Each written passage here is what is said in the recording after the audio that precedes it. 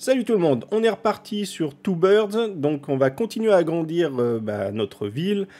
Euh, j'envisageais dans la précédente vidéo de commencer à détailler, euh, rajouter des, la déco, détailler un petit peu euh, le tout que j'avais déjà placé. Mais je préfère continuer à développer la ville dans, dans, cet épisode. Par contre, pour le prochain, c'est sûr, je, vais, je détaillerai. Parce que je pense que j'aurai bien avancé et ça sera donc plus logique de commencer à détailler euh, bah, comme il faut. Donc vu que le jeu me demande des commerces, je vais commencer à développer la zone commerciale. Par rapport à la référence que j'ai, elle se situe euh, par là. Donc euh, c'est ce que je vais faire. Par contre, je pense que je vais commencer par euh, tirer la route parce qu'il y a la route principale euh, donc qui en fait qui se, qui se scinde en deux, je vais y arriver. Euh, donc une qui continue par là et une qui descend par là pour rejoindre ici. Donc je vais tirer la route pour la rejoindre ici. Donc en gros ça va faire un truc comme ça. Et euh, dans son centre, ici, je vais euh, bah, faire le quadrillage au niveau des routes. Et ici, l'intersection sera plutôt intéressante à, réaliser, je pense. Voilà, je, je, me lance, je m'y mets, et on se retrouve quand j'aurai fait, euh, je pense, tout le tracé.